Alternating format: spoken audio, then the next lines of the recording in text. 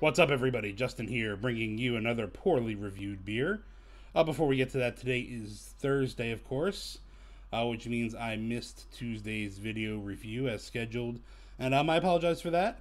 I'm getting a, I'm in a new, drastically new schedule at work, and um, I'm still really trying to get my feet under me overall, not just with the uh, this website, but really in life. I'm trying to figure out how all that's going to work. So, um, unfortunately, I missed the the Tuesday review. I'm still committed to doing three re- three reviews uh, for the week, so you'll be seeing a, a, bunch of video content coming up between today and uh, Sunday uh, to get my regularly scheduled three videos per week in.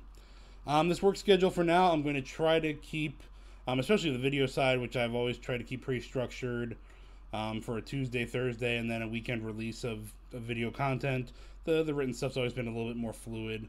But I'm gonna try to keep that Tuesday, Thursday weekend schedule with this this work, this new work uh, format. I can maybe see a situation where I decide I'll still be committed to doing three videos a week, but the release schedule might get a little more fluid. Um, if it gets to that, I'll formally announce it. But for now, I'm going to try to do a little bit better uh, with pre planning and banking, really not just videos, but content in general um, for proper release and the proper release schedule of these videos. So again, I apologize for missing Tuesday. I will make it up to you. And um, enough talking. Let's get to beer. And this is uh, from Dogfish Head Brewing in Milton, Delaware.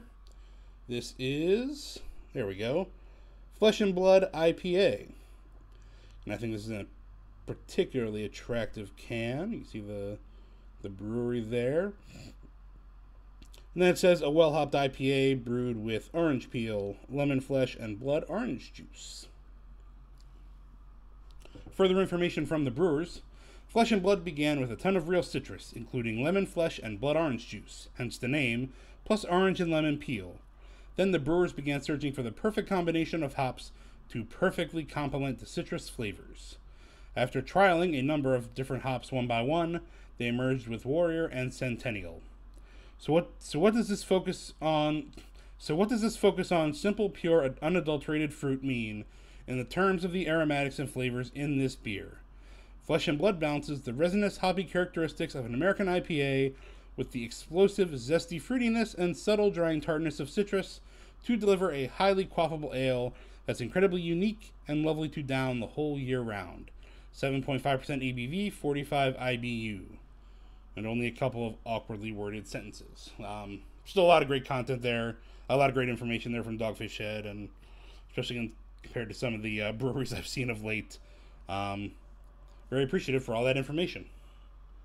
So let me pour this into my mug. I'm running a little low on beer glasses, so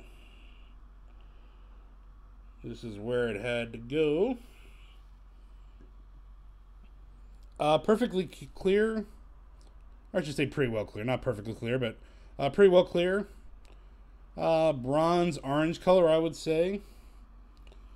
As I hold up to the light, uh, it's more of a, a pure orange. I feel like I can see a little bit better in the light, a little bit of uh, material swirling around. But again, I mean, it's fairly well see through. I can see my fingers quite well and in fair detail on the opposite side. So just a little bit of haze, I guess I would say, to this beer. A little bit of carbonation I can see shooting up through the glass, but really not much to it, not much head. Uh, some larger white bubbles, but really not much to it. All right, let's give it a try. Hmm. hmm. Uh, that's definitely an IPA that is right up my alley.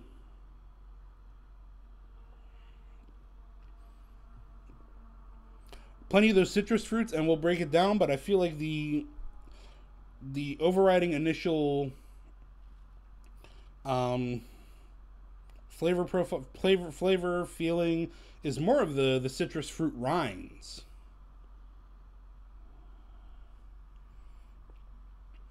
Yeah, so the uh, I was just taking a gander through the uh, through the description again. The orange and lemon peel that they reference, I think, are really the biggest the biggest flavor piece of this beer. Uh, plenty of citrus.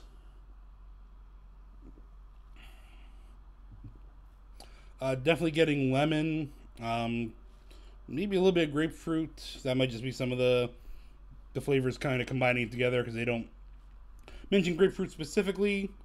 Uh, a little bit of that orange as well, of course.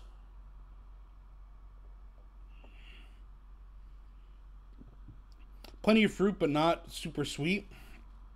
Actually, I think it's pretty well balanced uh, in the sweetness, nicely balanced in that sweetness.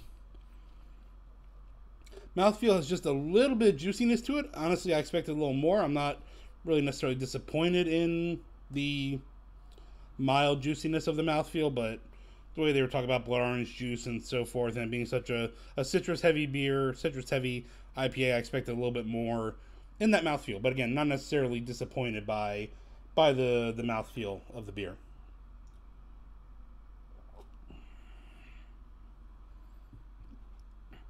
Real nice, almost a little bit of a a refreshing kick to it. I think that maybe comes from the some of the brighter citrus like the lemon.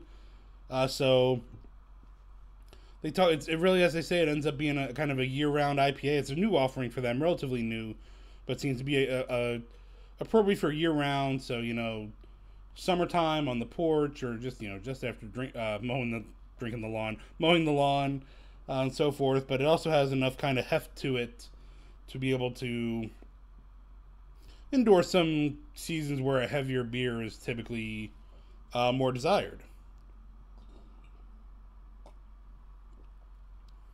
but yeah, nice, uh, nice tart citrus notes. Um, kind of what they intended, but generally, uh, kind of just one or two notes overall. The kind of the citrus and then the the citrus rinds, but uh, right up my alley for an IPA, I can promise you. And so if you're if you're big on kind of the more the more recent kick of these uh, citrus powered IPAs, uh, that'll be for you. So that is uh, the Dogfish Head Flesh and Blood. And that's it for this edition of Pourly Reviewed Beer. You can find all of my videos with video and written, along with news commentary and more, at pourlyreviewedbeer.com. Also, check out PRB on Twitter, Facebook, Instagram, and Untappd. You'll find those links and usernames in the description below. And if you're so inclined, please like this video and subscribe to this YouTube channel. Thanks for watching. I'll see you around at Pourly Reviewed Beer.